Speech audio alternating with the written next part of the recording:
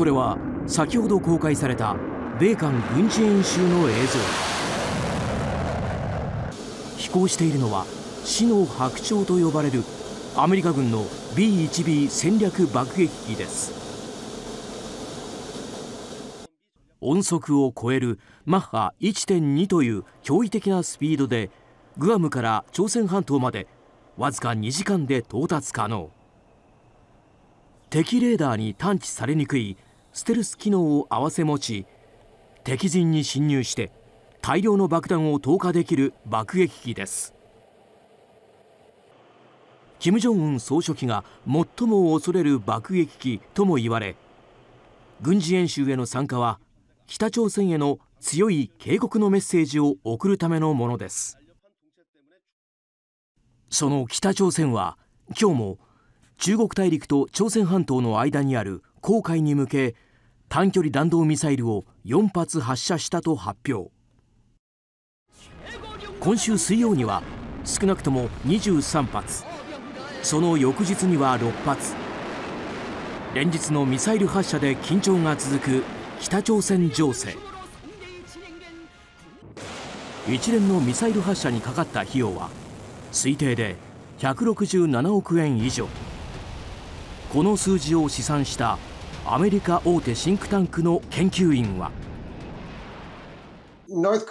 北朝鮮はさまざまな種類のミサイルを発射している。ICBM は1発3000万ドル。短距離弾道ミサイルは1発300万ドルです。この金額は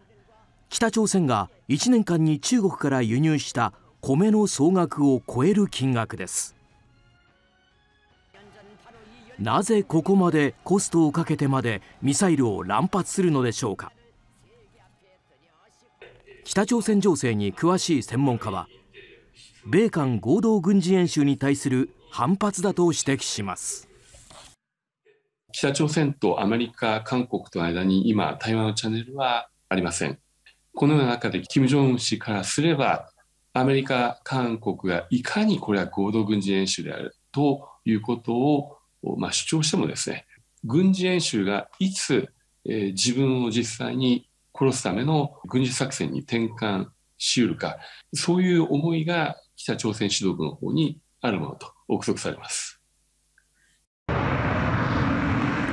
月曜からアメリカと韓国が行っている合同空中演習ビジラントストーム。米韓の軍用機およそ240機が参加する過去最大規模の軍事訓練です。昨日で終了する予定でしたが北朝鮮のミサイル発射などを受けて今日まで延長しました。これに対し北朝鮮外務省の報道官は攻撃型の戦争演習だと非難。訓練の延長については持続的挑発には持続的対応が伴う。最後まで超強力に応じると述べ追加の軍事挑発を宣言しています。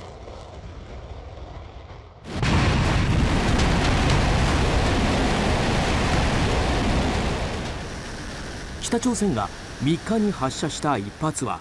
ICBM 大陸間弾道ミサイルとみられアメリカ本土にも到達するとされています。今回の発射は通常の発射方法よりも高く打ち上げるロフテッド軌道により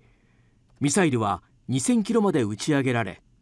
そのまま空中で分離して速度が落ちて750キロあたりの日本海に墜落したとみられています。韓国軍は今回の ICBM の打ち上げは